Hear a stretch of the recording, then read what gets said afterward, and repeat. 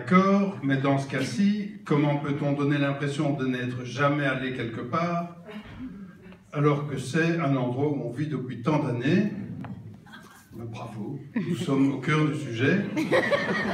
Euh, et il faut savoir que euh, pendant les premières années de mon immersion dans l'univers européo, expato, Monica, j'ai régulièrement tenu le rôle, que vous ne devez pas m'envier, du belge de la soirée.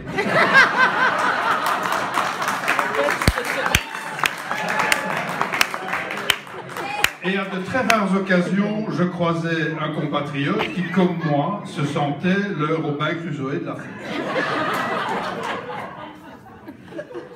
J'ai souvent entendu euh, que les expatriés ne nous fréquentaient pas parce que nous étions distants, un peu renfermés, que nous préférions rester entre nous.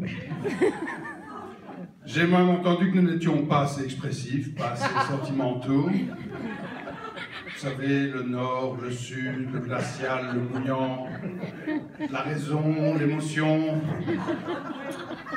Mais sur ce coup-là, on pourrait suspecter que Monica euh, ne connaît pas tous les Belges, voire qu'elle se base sur un tout petit échantillon. Un échantillon qui se tient devant vous. Toujours est-il qu'on peut euh, diviser ces années en trois époques. Alors la première époque, je l'ai appelée « C'est quoi ce truc au-delà de la porte de mon bureau ?» Un seul petit exemple qui en dit long sur sa connaissance de son nouveau milieu de vie. Monica apprend un jour qu'elle doit faire une réunion dans un petit village, un petit village qui s'appelle Antwerpen. Un collègue, qui connaît le royaume un peu mieux qu'elle lui dit Prends ta mobilette, c'est à 25 km. Et Monica s'en va. C'est Yannis, hein Et c'est Yannis d'ailleurs, le collègue en question. Elle arrive à l'entrée de l'autoroute qu'elle ne reconnaît pas comme telle, puisque en Belgique il n'y a pas de péage. Elle s'y engage à fond sur son engin qui plafonne à 40 km/h sans la moindre hésitation, même si euh, elle trouve un peu bizarre qu'un si petit village ait droit à des si grands panneaux.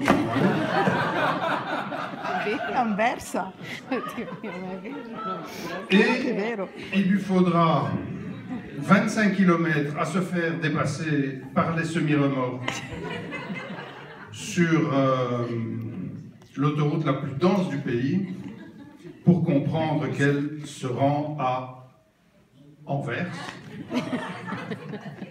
la deuxième ville du pays.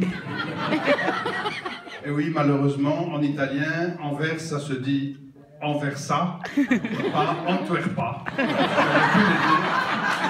Mais voilà. Alors mettons qu'elle ait une petite faiblesse une petite faiblesse en géographie et examinons sa stratégie d'adaptation à la météo locale. Sur le même trajet, je cite, elle avait prévu S'il pleut, je m'arrête sous un pont, je prends un bouquin et je le lis en attendant que ça s'arrête. Je suppose qu'à l'époque, elle ne savait pas encore que chez nous, il peut pleuvoir pendant une semaine. Bref, pendant ces douze premières années, Monica aurait bien pu se trouver sur Mars. Je dirais que ces 12 ans comptent pour deux. Deuxième époque, non merci, j'ai déjà goûté.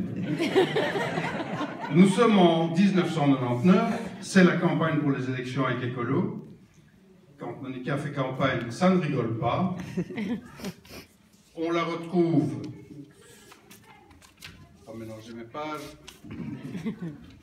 On la retrouve même à la Louvière. Elle est sans doute à l'aller, mais ce petit coin de Belgique l'a particulièrement marqué. Et assez logiquement, en tout cas logiquement pour ceux qui connaissent la Louvière, ça ne lui a pas trop donné envie d'explorer le reste de notre beau pays. On aurait pu croire que le fait de se faire élire par des Belges allait l'obliger à investir la Belgique profonde.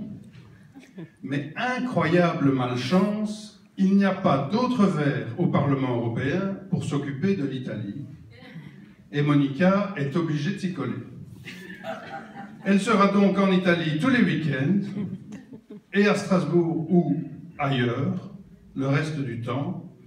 Dix ans de Parlement européen, dix ans avec sa petite valise comme plus fidèle compagnon. En décomptant tous ses voyages, ces dix ans valent pour trois ans maximum. Nous sommes à cinq. Troisième époque, tiens, il y a des Belges ici. Ça alors, il n'y a pas que des parlements, beaucoup trop d'ailleurs, des parcs et des théâtres à Bruxelles. Monica, Monica découvre enfin les pistolets aux crevettes du dimanche matin, accepte enfin que la seule bonne manière de manger des frites, c'est avec de la mayonnaise, même si elle ne comprend toujours pas comment on peut, et je cite encore, assaisonner du gras avec du gras? Elle se familiarise avec notre langue, découvre que oui, bien sûr, chez nous, ça se dit non peut-être. Elle fréquente même des Belges qui ne travaillent pas dans ou autour des institutions. Bref, un changement drastique. Soyons généreux, pour ces huit années, j'en ajoute cinq. Nous sommes donc bien à dix au total. Ceci dit, il y a encore du boulot. Après ces 30 ans ou 10 ans, elle n'est toujours pas tout à fait imprégnée de la culture indigène. Elle ne s'est pas encore faite à l'idée que la pluie est un truc normal qui ne doit pas vous cacher toute la journée, vous gâcher toute la journée. Elle ne sait pas précisément où se trouve euh, Forêt, Linkeby, Ouemel, ce qui l'empêche pas d'ailleurs de s'énerver quand je ne suis pas son itinéraire pour aller quelque part.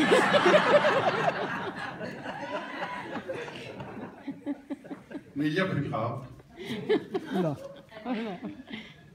Elle ne sait toujours pas ce que veut dire douiller, bouseux, maté, ni douf, notés récemment, hein, c'est pas la Clette, snul,